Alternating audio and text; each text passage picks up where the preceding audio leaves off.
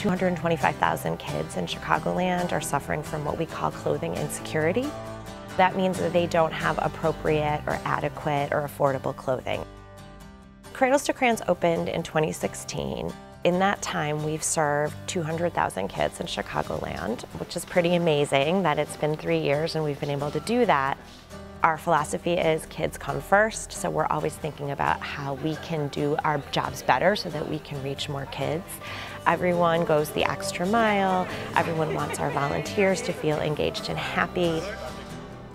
I volunteer a few places, but one of the reasons I love to volunteer at Cradles is they focus on the whole child. They make sure the child has everything they need. We work with 54 social service agencies around Chicagoland and talk regularly with uh, social workers and teachers and caseworkers who help families who are really struggling. Awesome, patty cake, that's fun.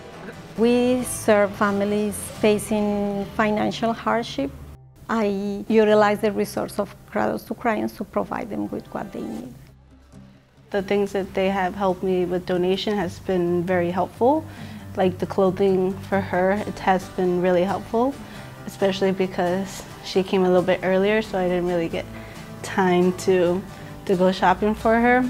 They've also provided me with some diapers that have been pretty helpful because she has dirtied a lot of diapers. And with my sons, there was a box of crayons that they had given him. I had to paint, all the tools that you can use for painting, and he loves to paint. He's pretty artistic. So that was that was really nice to see his expression. It was, it was like, oh, it like warmed my heart. It is very easy to get involved with Cradles to Crayons. There are so many ways you can volunteer. Do you know somebody who has some books that they no longer use, that are gently used, or clothes, or you can make a donation.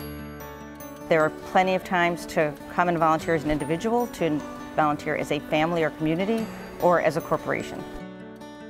Our job is really to improve not only people's financial lives, but because of our size and our scale and the resources, it's our commitment and our responsibility to give back to the community. So it's bigger than just writing a check to support, but also giving our time to make a positive impact on the community.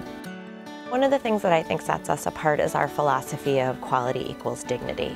We spend so much time and we have our volunteers spend so much time sorting through all of the items that we get so we get the best items to give kids so they feel as excited about it as if it were a birthday present or a holiday gift. We're giving dignity to the kids, but we're also giving dignity to the family. We had a family who lost everything in a fire. They had to start all over again with everything. But the first thing was having Cradle to Crayons. This family also was in tears because they, they couldn't believe they could get so much. Because even for other people, it might be just a little bit. But for this particular family, it was a lot to the point that mom thought that they may not deserve to receive all those things. I'm so happy we have Cradles to Crayons as a resource to provide a better service to our patients and uh, help them to meet their needs. It's really, really helpful, very rewarding. And I do think the program, because like I said, there are some people that truly can't get what they need at certain times and when you get something at a random time, you never really know when it's going to be helpful until boom, it's, it's helpful then and there. Thank you. Thank you for enabling me and giving me the power to be able to give back to my community, not only as a corporate partner, but personally. I'm tremendously proud and honored and humbled to be able to be a part of such a great organization. Please continue to support this organization. It really does amazing work for the city, for the children, and for everybody who touches it.